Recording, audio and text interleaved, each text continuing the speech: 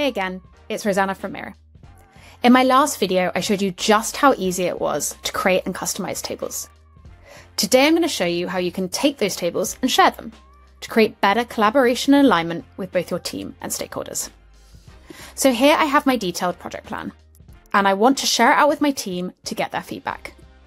But as you can see, this board has a ton of content on it, and I just want them to focus in on this table.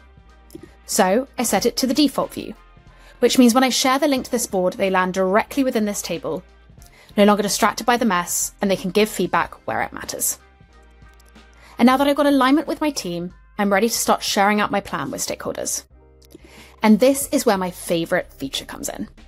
Because as we all know, depending on the meeting or stakeholder, we might want to create a slightly different customized view of the same information.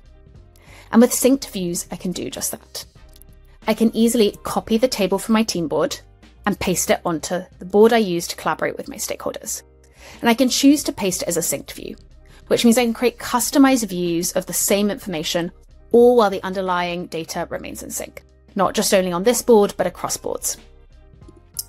So now you can see I've got a detailed synced plan from my team board on my stakeholder board and I now really want to create a zoomed in view of the project marketing plan. And so I can do this by creating another synced view of this table. This time, I'm going to go in and I'm going to change the layout to timeline. I'm going to remove the group and then I'm going to filter by the marketing team like this. So here you can see I've got my detailed marketing plan. And this is where it all comes together. I've got a doc over here which talks about the project plan, the goals, the strategy, and the initiative details. And I can easily drag and drop this synced view of my team's table into the doc so that I can share the marketing plan in the context of the whole project.